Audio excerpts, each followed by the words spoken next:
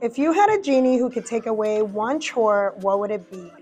So I'm a huge foodie. However, if I had one wish, it would be that I did not have to be responsible for all the meals in my family. So, okay.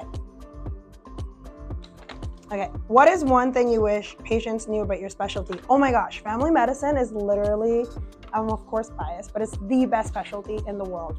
Um, we see kids, we see adults, and we take care of you all the way to the end of life.